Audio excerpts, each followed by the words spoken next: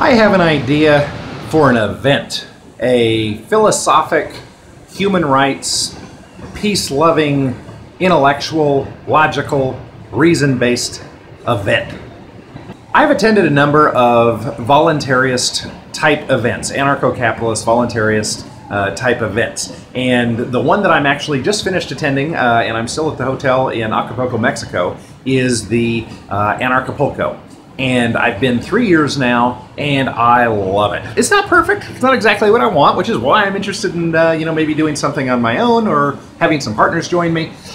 Uh, but it's a wonderful event. If you're kind of leaning voluntaryist, it's definitely worth coming and checking out. If you are a conspiracy theory uh, theory enthusiast, uh, or you enjoy hanging out with friends and smoking weed, uh, if you kind of enjoy the yoga holistic chakra thing, you would really love it. Like you've got to come. This is a great place, and we all kind of intermingle and share idea, ideas and agree on some and disagree on others. But anyway, it isn't perfect for me, and so if you don't like it, go f- build your own, right?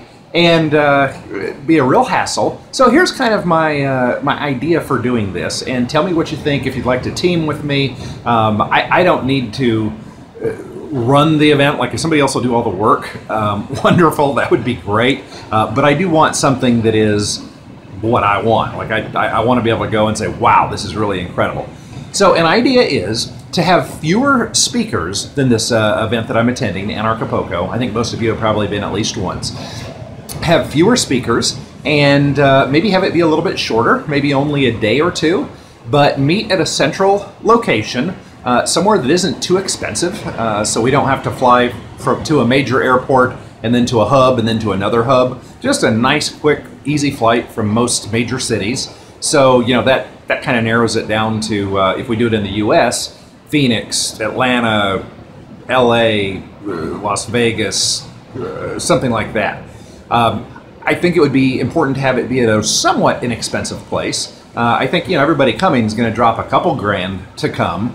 Uh, I'm kind of thinking of a think tank type atmosphere where people that have created some success in their life uh, can get together and talk about entrepreneurial things and and talk about voluntaryism and, and uh, economics, etc. And and it wouldn't be a thing. I mean, people would be welcome to smoke weed or whatever talk spirituality. You'd be welcome to. I'm not going to guide you know exactly what happens, but it, it would be more of a a serious professional like I see most people attending having relatively short hair and shaving at least once a day and, and showering every day and um, probably being able to pass a drug test if they ever needed to take one, but they're probably going to be owning their own businesses and don't need to.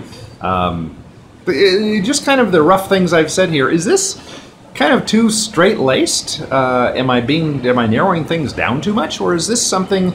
You might be interested in. I'm thinking uh, hiring someone like Larken Rose to come and present for an hour or two or three, and and then everybody just hangs out. And you know, I don't want it to be too big. Like you know, maybe put a cap at ten or twenty or thirty people for the first year, and then in the future, not invite that many people. It'd be an invitation only thing, and uh, you know, kind of make sure the person is philosophically sound before they're invited, uh, not necessarily just say if you're at all alternative thinking, you're going to love this. No, we're not here to make money or listen to people that blabber too much or, well, other than me, but others we don't want to listen to.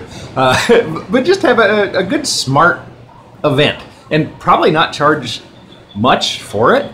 Um, you know, you have to pay for the hotels and the travel, and that's enough to make sure a person's serious. Uh, what are your thoughts about this? Would you want to have speakers all day, every day, or no speakers, and just have it be something that you hang out and uh, I don't know, you just sit in the hotel lobby, or make sure it's a hotel that has uh, a restaurant that will let us be there 24/7, and we just all hang out and kind of sometimes in one huge group and sometimes in little tiny groups and just hang out and do it on our own. What are your thoughts? What's your dream event? Let me know.